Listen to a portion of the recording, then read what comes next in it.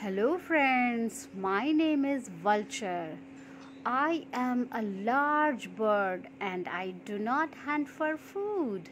I eat the remains of dead animals. I use my broad wings to soar in the sky to search for food. We have excellent eyesight.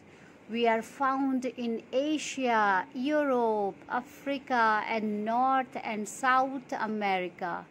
There are 23 vulture species in the world. Okay, bye bye.